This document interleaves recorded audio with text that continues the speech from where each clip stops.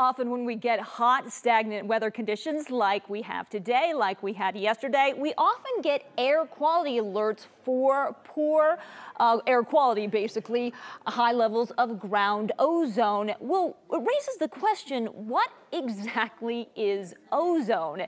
Ozone is actually a secondary pollutant. It is not the primary pollutant, but the secondary one.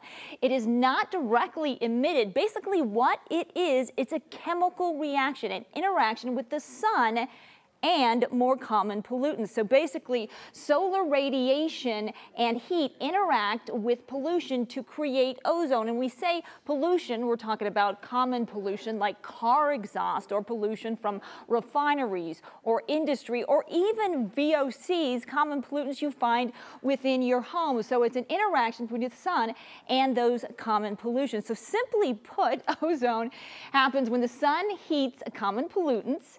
It causes a chemical chemical reaction that causes ozone, and it is actually one of the main ingredients in smog.